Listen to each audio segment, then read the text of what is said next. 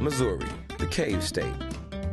Home to the Ozark Mountains, the Mississippi River, Mark Twain, French settlers, frontier towns, and most importantly, St. Louis, the Rome of the West.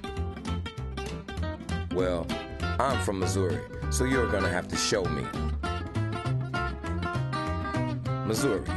At least it isn't Illinois.